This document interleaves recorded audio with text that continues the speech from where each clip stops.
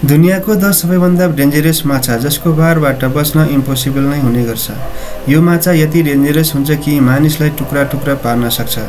कुनै दुनियाँमा लगभग माछाको बत्तिस हजार प्रजातिहरू पाइन्छ जसमध्ये केही माछा मानिसले खान्छन् भने केही माछा यति विशाल हुन्छन् कि एकैचोटि पुरै सिङ्गो मानिस निल्न सक्छन्। यिनीहरूको बारेमा त तपाईँहरूलाई थाहा नै छ होला। तर आज हामी यस्ता माछा देखाउनेछौँ। सायदै तपाईँहरूले देख्नुभएको होला। किनकि कसैमा बिजुलीको जस्तो झट्का फलामको जस्तो कडा दाँत भएका र केही यति विशाल हुन्छन् जसको विषबाट बच्न असम्भव नै हुने गर्छ। नमस्कार साथीहरू स्वागत छ तपाईँहरूलाई आमाजिक फर च्यानलमा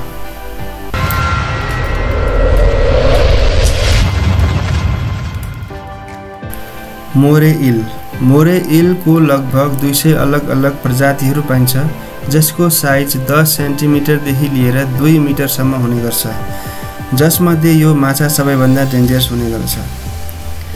कारण हो यसको जबडा वा ज। साधारणतया कुनै पनि जनावर वा माछाको एउटा ज हुन्छ तर यो मोरे इलको दुई अलग अलग ज हुन्छ।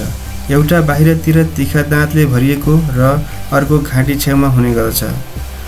जब यसले कुनै जीवको शिकार गर्छ तब बाहिरको जले जोडले पक्रिन्छ र भित्र भएको अर्को जले भित्र लिएर जान्छ। मोरे इल समुद्रको गहिरो पानीमा बस्न मन पराउँछ र यो चट्टान वा पाल हुँदी लुकेर बस्ने गर्छ जसको कारण छेउछाउ आउने जीवहरूलाई सजिलै एट्याक गर्न सकोस्। मोरे इलले प्राय गङ्गटो सानो सार्क अक्टोपस र सर्पहरूलाई हमला गर्ने गर्छ र आवश्यकता पर्यो भने मानिसलाई पनि एट्याक गर्न पछि पर्दैन। स्टोन फिस स्टोन फिस दुनियाँको सबैभन्दा विषालु र घातक माछामध्ये एक हो जुन एसियाको इन्डो पेसिफिकमा पाइन्छ।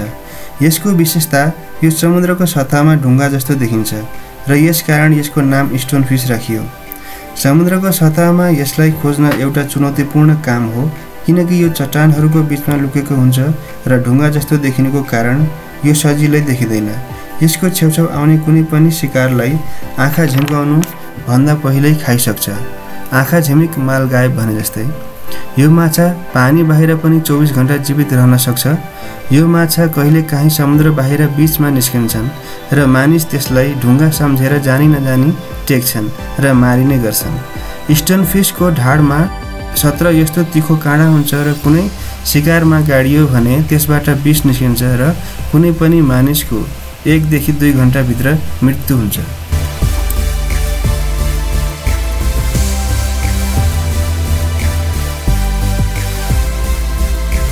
Electric eel electric eel Amazon नदीको सबैभन्दा डेन्जरस फिस हो जुन अरू माछाभन्दा एकदम अलग छ किनकि यसको शरीरमा इलेक्ट्रिक पावर हुन्छ जसले कुनै पनि मानिसलाई एकै झट्कामा काम तमाम गर्न सक्छ। यो माछाभित्र जतिखेर पनि छ सय भोल्ट भोल्टको इलेक्ट्रिकल पावर उत्पन्न भइरहन्छ। यसले आफ्नो शिकारलाई आफ्नो शरीरले बेरेर र बिजुलीको झट्का दिएर मार्ने गर्छ। इलेक्ट्रिकल इलको साइज दुई मिटर र वजन बिस केजीसम्म हुने गर्छ।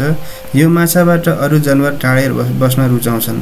यदि कुनै पनि मानिसले यसलाई छोयो भने मात्र पनि इमर्जेन्सी सिचुएसनमा पुग्न सक्छन्। समयमा नै ट्रिटमेन्ट भएन भने हार्ट फेलियरको कारण मृत्युसम्म हुने गर्छ। पिराना फिस पिराना दुनियाँको सबैभन्दा डेन्जर माछामध्ये एक हो। कारण हो यसको तिखा दाँत र स्ट्रङ ज। जसको सहायताले फलामलाई पनि टुक्र्याउन सक्छ।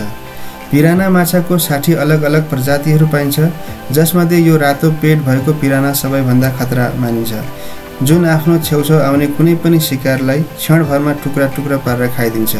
खुनको भोगो यो माछा हर्बल शिकारको खोजीमा हुन्छ। पिराना माछाको प्रजातिहरू प्राय साउथ अमेरिकाको समुद्रमा पाइन्छ। यो माछाको साइज एघार इन्च हुन्छ। यसको ज यति मजबुत हुन्छ कि यसले कुनै पनि चिजलाई सजिलै टुक्र्याउन सक्छ। सफिस। सफिस सार्कको प्रजातिमध्ये एक हो जुन हेर्दाखेरि अरू सार्कभन्दा धेरै अलगै छ। किनकि यसको नाक दुई पोइन्ट छ फिटसम्म लामो हुन्छ जसमा धेरै तिखा काँडा हुन्छ र कुनै पनि शिकारलाई काठ काट्ने आरा जस्तै दुई टुक्रा गरिदिन्छ।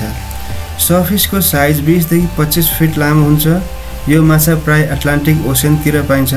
यो माछा यति खतरनाक हुन्छ कि आफूभन्दा ठुला माछालाई पनि एट्याक गर्न पछि पर्दैन।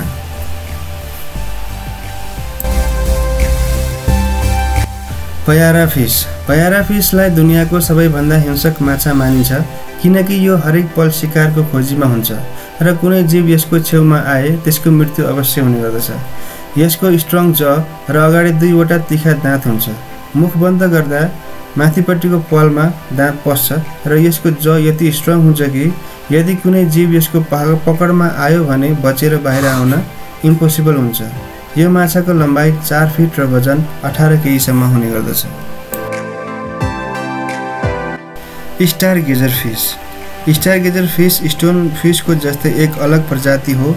यो फिस शिकार गर्न स्टोन फिसभन्दा पनि खतरनाक र हिंसक हुन्छ। किनकि योसँग बिसको साथै पचास भोल्टको बिजुली इलेक्ट्रिकल पावर हुन्छ। यो माछा शिकार गर्नमा अरूभन्दा अलगै हुन्छ किनकि योसँग स्ट्रङ विङ्स हुन्छ जसको सहायताले समुद्रभित्र बालुवा खनेर आफूलाई यसरी लुकाउँछ कि ऊतिर आउने शिकारलाई देखाइदिँदैन। र कुनै शिकार यसको छेउमा आयो भने मात्र एक सेकेन्डमा त्यो शिकारलाई जिउँदै मिल्छ यो विषालु भए पनि मानिस यसलाई खाना काटेर बजारमा बेच्ने गर्छन् र यसलाई एक्सपोर्ट रेख देख्न मात्र बनाइने गरिन्छ। किनकि बिजुली र विष भएको पार्टलाई सजिलै निकालेर बनाउन सकुन्। बफर फिस बफर फिस दुनियाँको सबैभन्दा विषालु माछामध्ये एक हो किनकि यसको भित्र टेट्रोडोटक्सिन नामको विष पाइन्छ जसको एक थोपाले नै मानिसको ज्यान जान सक्छ। यसको अर्को एउटा विशेषता पनि हुन्छ कि जब कुनै जीवले यसको पिछा गर्छ तब यसले आफ्नो पेटमा टन्नै पानी भरेर आफ्नो बडीलाई बल जस्तो बनाउँछ जसको सहायताले यसको भाग्ने स्पिडमा बढौती हुन्छ र शिकारबाट पनि बच्न मद्दत गर्छ। बफर फिसको धेरै प्रजातिहरू पाइन्छ जसमा यो फिस डेन्जरस मानिन्छ। किनकि यो विषालु हुनुको साथै यसको दाँत धेरै दह्रो र तेज धार हुने गर्दछ जसले मानिसको हड्डीसम्म चबाउन सक्छ। फ्याङ टुथ फिस मोस्टर जस्तो देखिने यो माछा खतरनाक हुनुको साथै धेरै रिसा र आक्रामक हुन्छ। किनकि यसको फलामको जस्तो स्ट्रङ ज र अगाडिपट्टि तलमाथि दुवै जमा ठुला तिखा दाँत जसको पकडमा कुनै पनि जीव आयो भने त्यसको बस्ने आशा हुँदैन। छ इन्च लामो यो माछाको दाँत यति ठुलो हुन्छ कि यसले आफ्नो मुख मजाले बन्दसम्म गर्न सक्दैन। भन्ने हो भने फङटुथ मात्र यस्तो माछा हो जुन पिराना जस्तो माछासँग टक्कर लिन सक्छ। टाइगर फिस दक्षिण अमेरिकाको समुद्रमा पाइने यो माछा धेरै खुङखार हुने गर्छ। यसले गोहीलाई पनि मार्न सक्छ। बाघ जस्तो स्ट्रङ छ र यसको विशालकाय दाँत यस माछालाई विश्वको सबैभन्दा डेन्जरस माछामा गन्ती गरिन्छ। यस माछाभित्र यस्तो एउटा विशेषता हुन्छ जुन यसको लागि सेन्सरको काम गर्छ जसको कारण शिकारलाई टाढैबाट टार्गेट गर्छ र तेज गतिमा स्विम गरेर शिकारलाई अट्याक गर्ने गर्छ र जिउँदै निल्ने गर्छ। यसको दाँत यति स्ट्रङ हुन्छ कि कुनै पनि शिकार यसको पकडबाट छुट्न सक्दैन। यो माछाको लम्बाइ चार फिट र वजन सत्तरीदेखि अस्सी किलोग्रामसम्म हुने गर्दछ।